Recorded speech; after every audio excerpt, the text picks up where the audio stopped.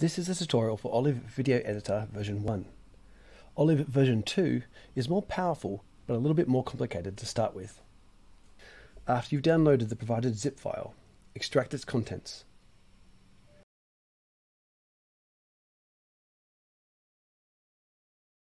You can then click on the Olive Video Editor folder. If you have a Mac, you'll need to go through the process of running the .app file that's unique to Macs. In Windows, however, you enter the Olive for Windows 32-bit folder and scroll down until you find the Olive Editor executable. If you get an error at this point, please make sure you've extracted your zip file and are running it from the folders. Strange things happen when you try to run a program that's inside a zip file. If at any point in this tutorial your windows start going all funny and you can't see what you're doing, click up here on Window and then Reset to Default Layout. It'll take it back to the way things were. It will be easier to explain what each window is here if you have some clips loaded first. The easiest way to do this is just to drag the entire activity folder over to the projects window.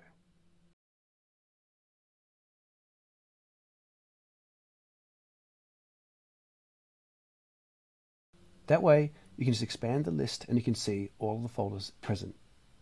If you're having trouble dragging and dropping a folder, then click Import and navigate into the activity you'd like to do, and then select all of the files at once.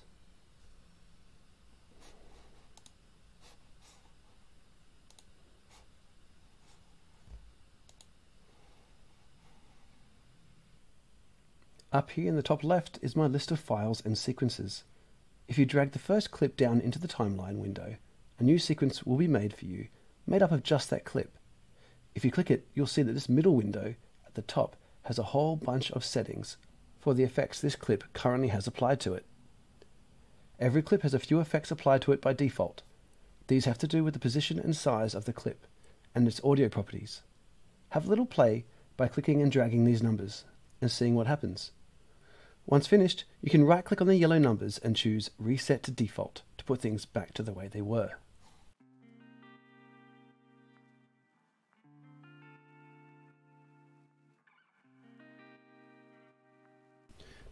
This first clip is actually upside down, so your first challenge is to select the clip, then rotate it 180 degrees.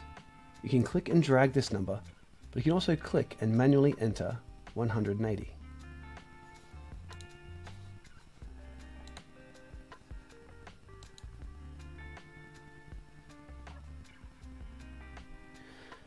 Once you've done that, bring down clip 2. Click on it, then rotate that one by 180 degrees as well.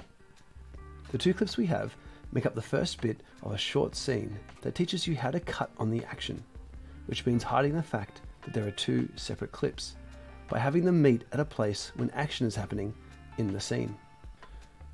Often when you film, you end up with extra footage behind and in front of the bit you really want.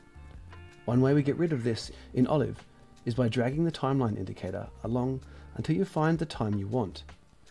I want to stop this clip just before I leave the frame, which is about here. Then you move the mouse to the start or end of the clip, and then drag it to the time indicator. My next clip has a bit at the beginning that I don't need, so I'm going to trim that one too. Again, by dragging my red timeline indicator to the correct time. Then dragging the beginning or the end of my clip back to that point.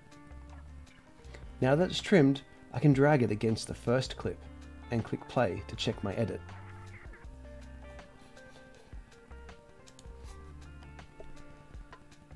Congratulations, you just made your first cut. The action we cut on was me sitting up, leaving one clip and entering another. I'll now drag in, rotate, and trim each clip, cutting on a chosen piece of action. Just remember, always select the clip that you want to work on or else the effects you change up here won't be for the clip you're trying to fix. Even though I'm looking at clip 3, if I have clip 2 selected, the effects do nothing because I'm currently changing clip 2.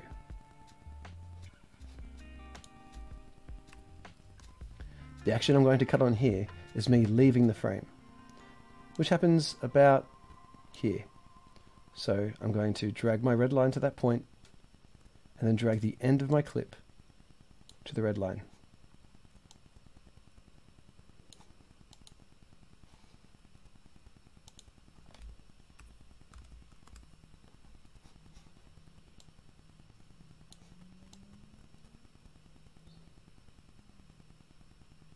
Coming down the stairs is a good place to start this clip. So I'm going to drag the front of my clip to the red line and then look at my edit.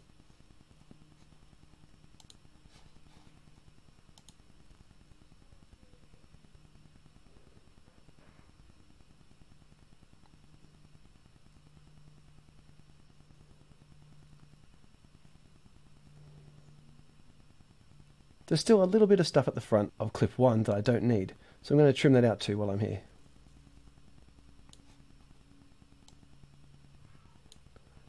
I can then select all the clips by pressing Ctrl and A, or by clicking over here and dragging a rectangle around all of the clips.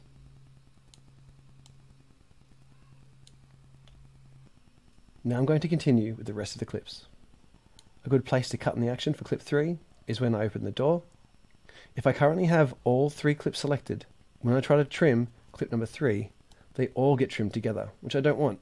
So make sure you click off of your clips and then onto the one that you want to trim.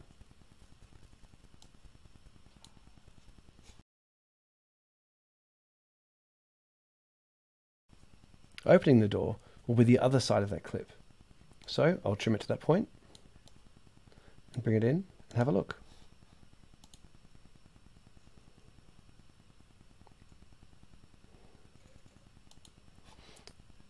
I think closing the door is going to be another good point. So just as the door goes black, I'll trim it to that point and bring in clip 5.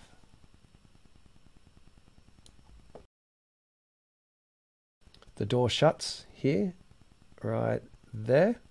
So I'm going to drag the front of my clip to that point.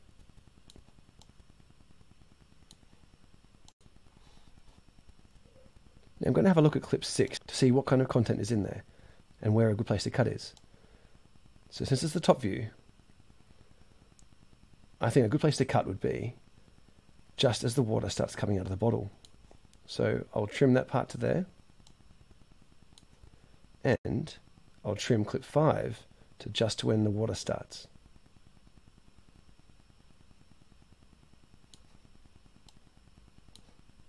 And bring them together.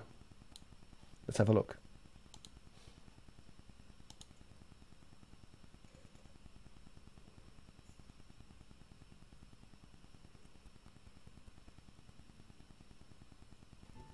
Let's have a look at clip 7.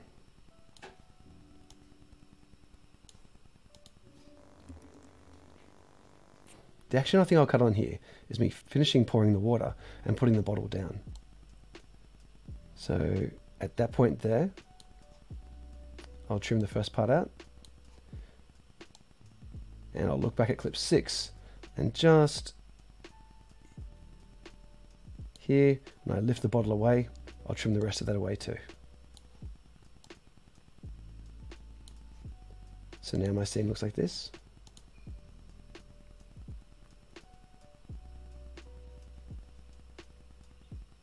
Let's have a look at clip 8. I think a good place to cut that last clip is just as I start lifting the glass. Just there. And I'll go back to clip 7. And just as I start lifting the glass, I'll cut there. So now let's look at our whole sequence.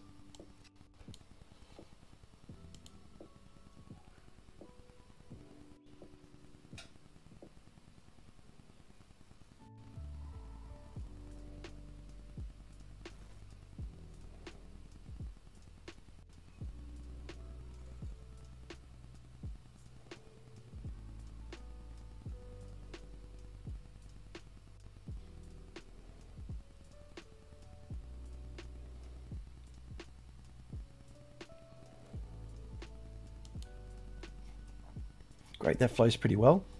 We do have one last file here called sound effect burp. If you drag that into your timeline beneath beneath the audio of your clip, we can try to line it up with the sigh to make it sound like a very loud burp.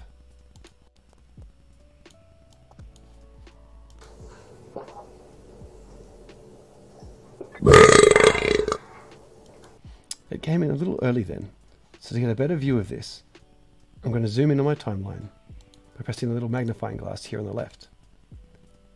I can see there's a little bump in the audio here, which is when I sighed.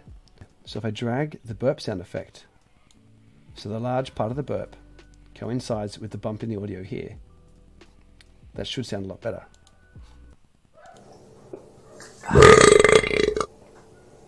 We don't need that last bit either, so if I zoom out, can trim the last part there. And let's watch the whole thing from beginning to end.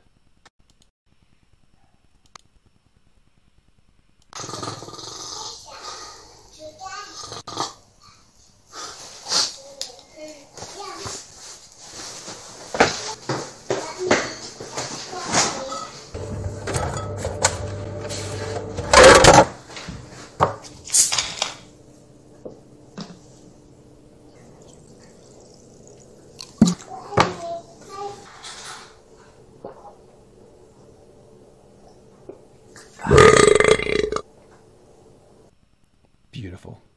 Before you export your project, make sure you save it in case it crashes by clicking File and Save Project As.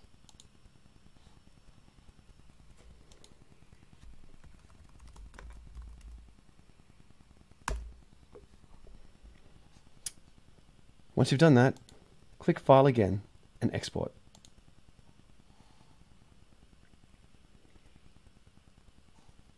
You can leave pretty much all of these settings as they are here. Just change this quality setting to be something more like 20.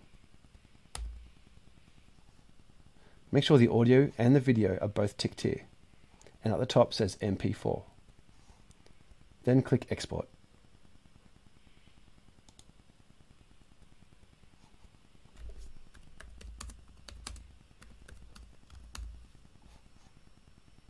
Save, and then your video will render.